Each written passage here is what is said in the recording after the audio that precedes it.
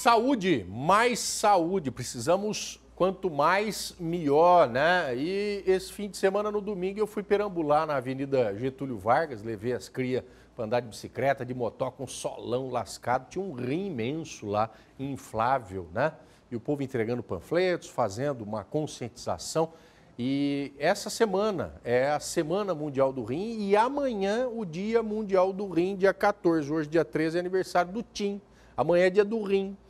A data ela é um motivo a mais que a Sociedade de Nefrologia, o nome da especialidade médica que cuida dos rins é nefrologia.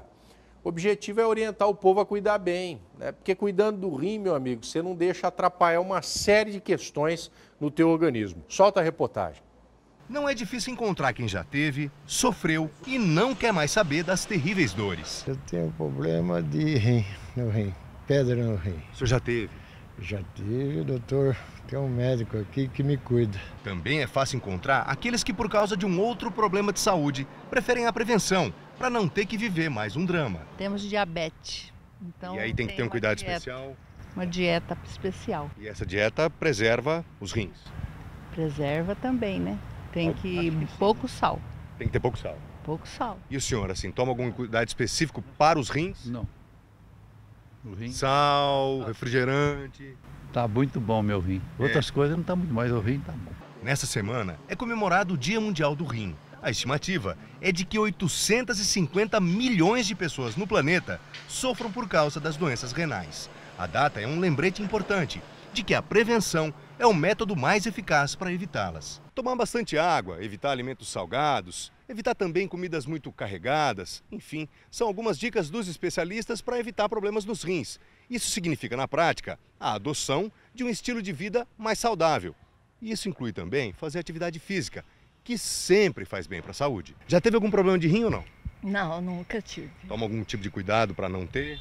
Sim, procuro me alimentar bem, tomar bastante líquido, fazer exercício. Evitar sal. Evitar sal, principalmente. Tem que cuidar, né? É, uma comida bem saudável. A Lúcia não fez nada disso. Ela conta que a rotina corrida e o sedentarismo foram as causas principais que a conduziram a um silencioso e perigoso diagnóstico.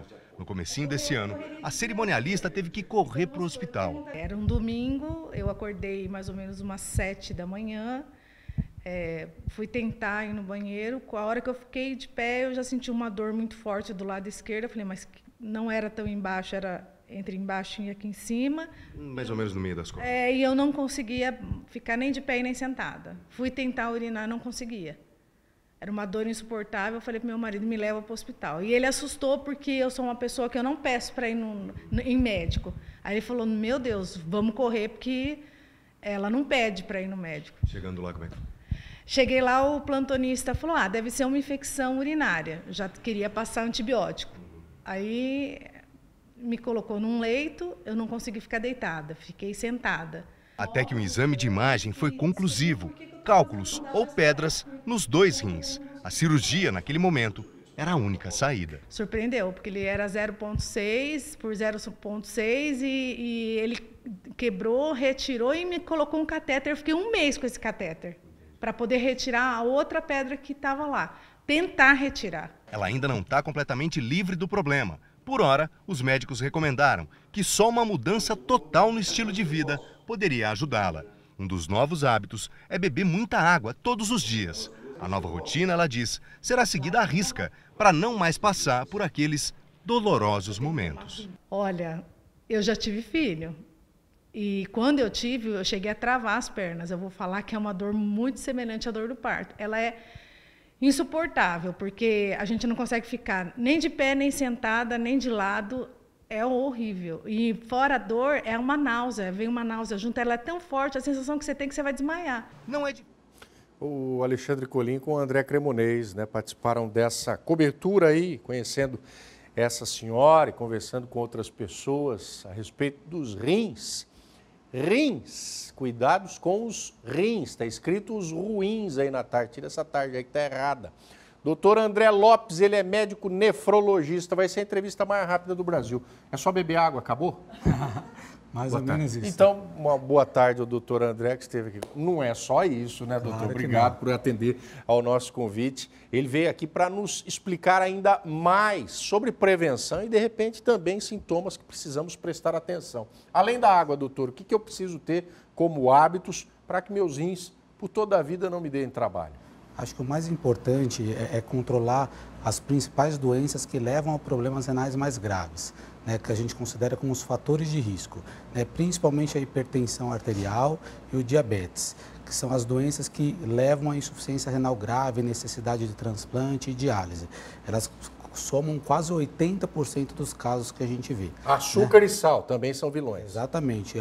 O sal é o grande vilão e o açúcar em paciente diabético. Então, além de beber muita água, tem que é, é ter o hábito de comer muito sal, comer pouco sal, né? evitar um exagero de carboidratos, praticar atividade física e ter uma dieta mais saudável possível. Dieta saudável, né? Resumindo, não só para os rins, será favorável a todo o funcionamento do organismo, né, doutor? Sim, com certeza.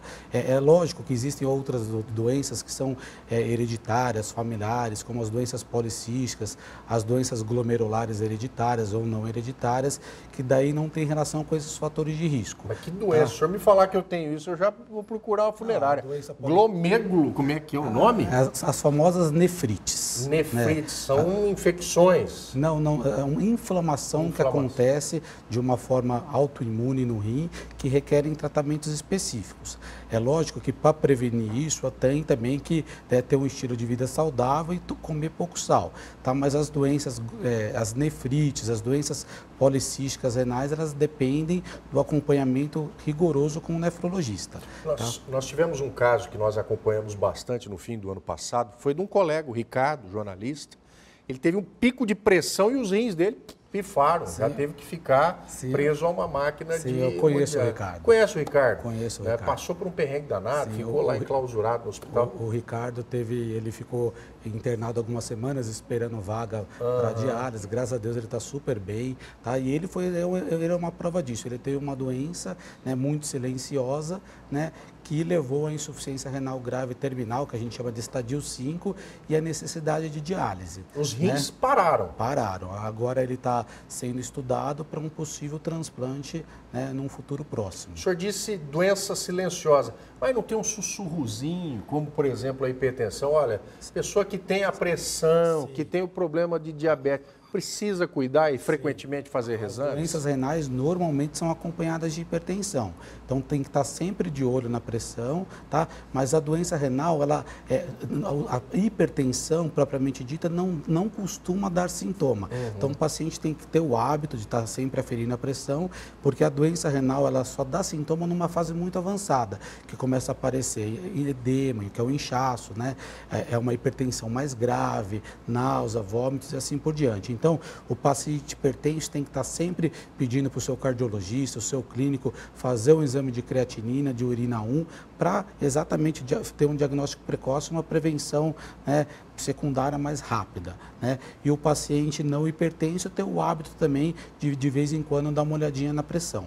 E independente de ser hipertenso ou não, ter muito cuidado com o sal. A partir de quantos anos a gente tem um marco que podemos dizer assim, a preocupação precisa fazer parte, preocupação, a prevenção, né, tanto de homens quanto mulheres, a partir de que idade começar a observar a pressão arterial, a passar por esses exames de checagem com é. os se for um paciente rígido, sem história familiar, sem diabetes e hipertensão, a gente recomenda os adultos jovens terem um hábito de procurar passar por um médico anualmente. Então, depois dos 30 anos. Agora, é claro, se tiver uma história familiar de doença renal ou mesmo de hipertensão, né, daí tem que ser uma coisa mais precoce, né? Uma coisa tornando-se adulto de uma forma mais precoce. É lógico que até em crianças tem situações que eu falo para os meus pacientes fazerem a prevenção nos filhos quando são doenças genéticas conhecidas. Né? A, a, clássica é a doença policística do adulto, que os rins são substituídos por cistos. Daí a gente começa a prevenção desde a infância. Né? Mas, de uma maneira geral, quem não tem história familiar, aos 30 anos a gente recomenda que tenha pelo menos aferição de pressão arterial. Doutor André, um paulistano que assumiu a caipirice e não quer voltar para a capital nem a pau, né? Ah, Mas não, né, doutor? Obrigado mais uma vez por atender o Imagina.